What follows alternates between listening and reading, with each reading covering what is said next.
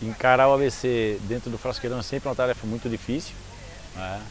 E mais com que o time deles vem de, de bons resultados, apesar do, do resultado de quarta-feira de empate, mas já analisamos o, o, o, vídeo, vimos o jogo e, e vimos a, a, também qualidade do time do Paysandu, por isso, por, por isso a adversidade, por, por, por, eles não ter conseguido a vitória.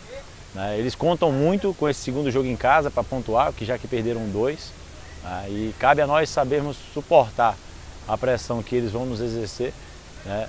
e em cima da, da, da, nossa característica jogar, fazer o jogo, construir o jogo, fazer, fazer com que o ABC seja envolvido e em cima disso criar, criar as melhores oportunidades e definir, sermos cirúrgicos em, em, em tudo aquilo que nós vamos propor no jogo de amanhã. Né? A gente, nosso time também vem de uma sequência muito boa, a confiança também tá, tá, o clima, o ambiente dentro do clube está muito positivo e cabe a nós tomarmos proveito de tudo isso que está sendo positivo dentro do clube e transformá-los em mais um resultado positivo. Somos sabedores da dificuldade, mas também somos sabedores da nossa condição de chegarmos amanhã e surpreendermos o ABC lá dentro do Frasqueirão.